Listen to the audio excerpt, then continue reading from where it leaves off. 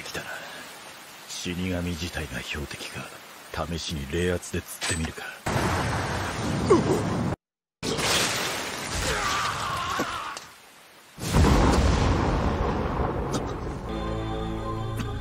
黒いホロ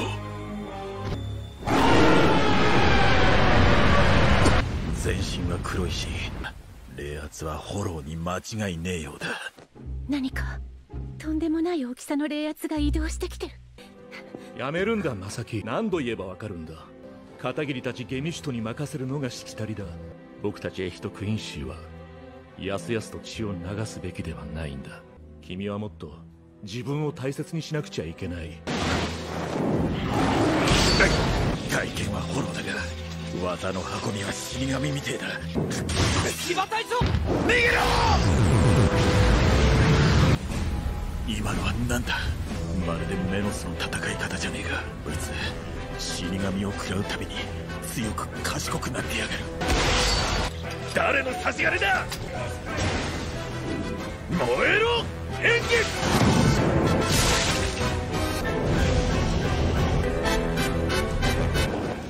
今の人たちは残白刀のそれだった。後ろで裏切り者が糸を引いてやがる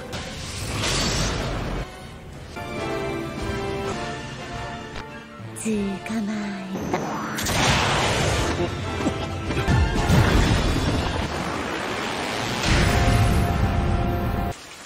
大丈夫ですか？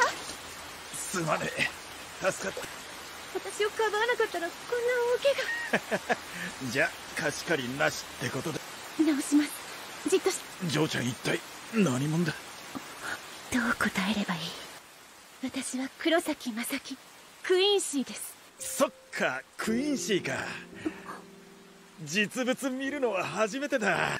生でクインシー見れるなんてなんか得した気分だな。何だろうこの人。